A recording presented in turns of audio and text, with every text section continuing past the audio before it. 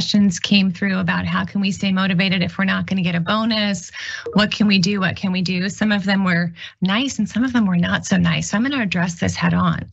The most important thing we can do right now is focus on the things that we can control. None of us could have predicted COVID. None of us could have predicted supply chain. None of us could have predicted bank failures. But what we can do is stay in front of our customers, provide the best customer service we can, get our orders out our door, treat each other well, be kind, be respectful, focus on the future because it will be bright. You just heard from Andi Owen, who happens to be the CEO of a posh furniture company known as MillerKnoll. She was speaking to her employees in a Zoom call just last month, and the employees were expressing concern that they wouldn't get bonuses this year, that bonuses would be withheld. Now, that first part of her response to them didn't seem too terrible, right? Seemed pretty okay.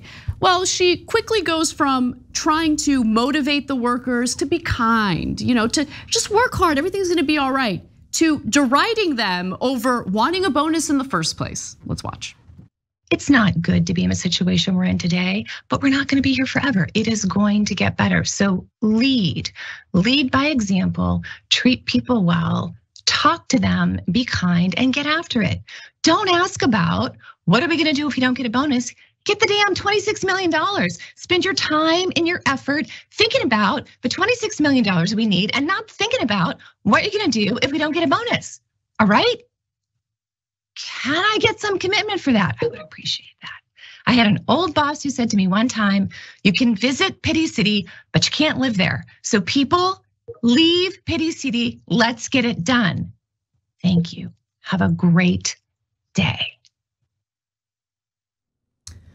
All right, so just to clarify a few things, uh, she references $26 million, but doesn't clarify what she's referring to there. Uh, so it's reportedly the operating expenses that the company had in the third quarter um, of the year. And so their operating expenses increased to $26 million in the third quarter.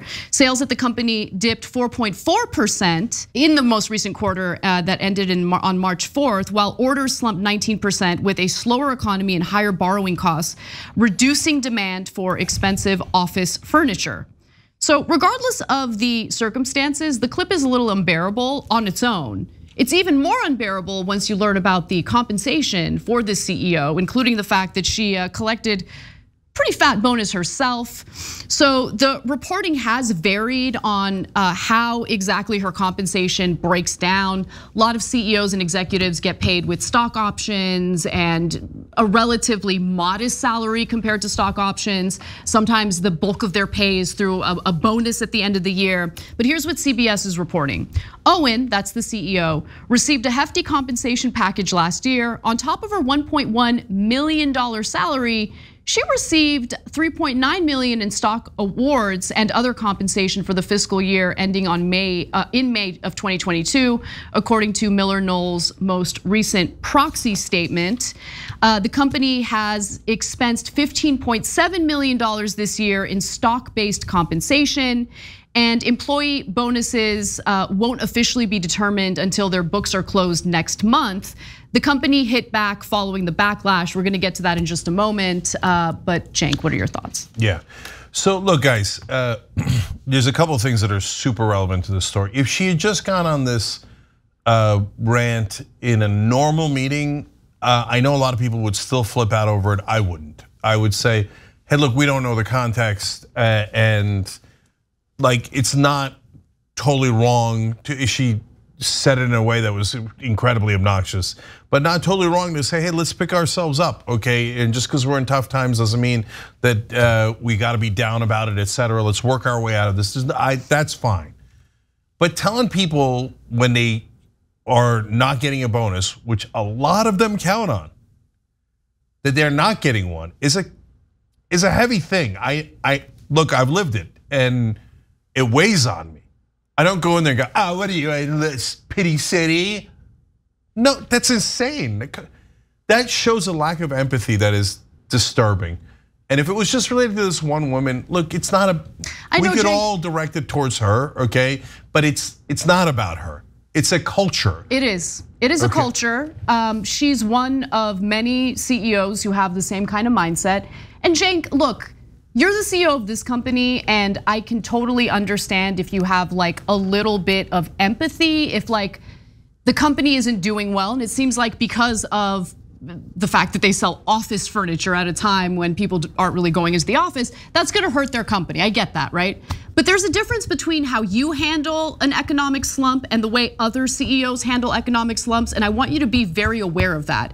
Because while you like will literally take a pay cut and refuse any kind of bonus if everyone else in the company is suffering as a result. Every other CEO has no problem pocketing millions of dollars in bonuses while denying bonuses to their employees. That's the difference. And no one knows about that internal stuff. I'm not even supposed to be talking about it, but I'm gonna talk about it right now because you're an exception to the rule, okay?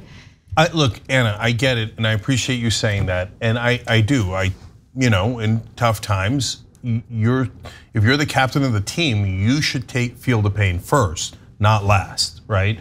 And there's sayings like leaders eat last, and there's a good reason for that. If you're a real leader, you, in my opinion, you do it that way. But, but this isn't about me. So what I was getting to with her is, on top of not showing sympathy when people are going to have trouble making payments, not going to be able to bring home money they, they were probably counting on, you could say, hey, you shouldn't have been counting on it, it's a bonus. Okay, fine, right? But still have a little bit of human empathy or whatever. But when on top of that, you're taking home millions in a bonus, mm -hmm. and then you're yelling at them because they're in pity city. Nah, that's the thing, guys. I I know some of these executives, and it is a little bit of a different culture, and I'm being soft here, okay? I could be much harsher. And and they really think, no, no, no, no. I yeah, I'm not the same as my workers. No, no, my workers aren't getting them. Of course, I'm getting a bonus. And by the way, here's something you might not know, and that I know because of my business background.